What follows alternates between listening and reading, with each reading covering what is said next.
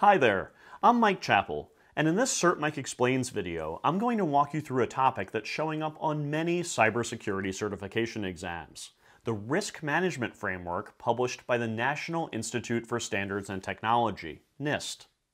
I'll tell you why the framework exists, how you can use it, and then explain the seven steps in the NIST risk management process.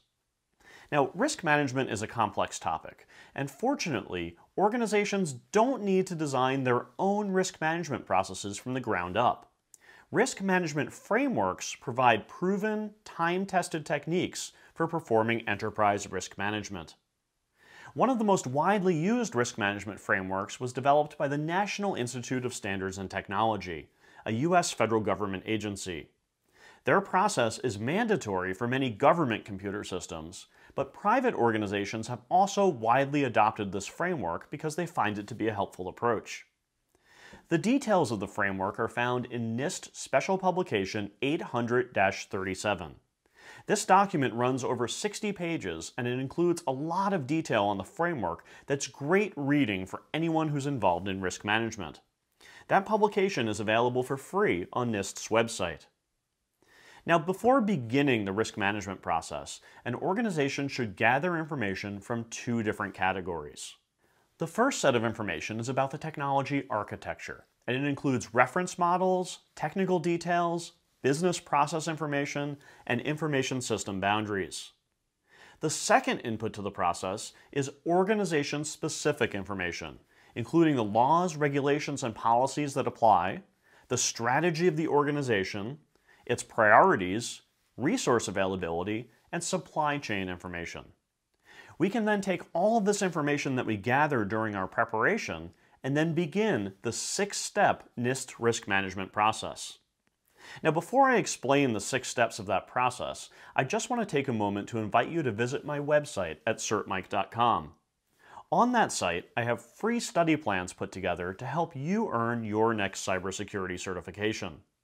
The plans tie together the content that you'll find in study guides, video courses, and practice tests to help you prepare for your next certification exam and pass that test on the first try. Also, if you're enjoying this Cert Mike Explains video, please take a moment to click the like button below to help other people discover it. If you subscribe to my channel, you'll be among the first to see my new cybersecurity videos when they come out. Okay, back to the risk management process. After gathering information about the technology architecture and the organization itself, the process enters step one, where we categorize the information system being assessed, as well as the information that's stored, processed, and transmitted by that system. We normally do this by performing an impact assessment. Then we move on to step two, where the organization selects the security controls that should be used to manage the risks to the information system. Now this selection is based upon the system's categorization from step one. We're going to likely begin with a standard baseline of controls and then add or subtract specific controls to tailor the specification to the system's needs. After we do that selection, we can move on to step three, where we actually implement those selected controls. In step four, we perform a control assessment to determine whether the controls were correctly implemented operate correctly, and meet security requirements. After we finish that assessment, we then enter step five, where we authorize operation of the information system. In the federal government, authorization is a very formal process where a senior government official must accept any remaining risks. Then once the system is authorized and running, we can move on to step six of the process, where we monitor the security controls on an ongoing basis to ensure their continued effectiveness and make sure we respond to any environmental changes. If this monitoring detects significant issues, the cycle can begin again.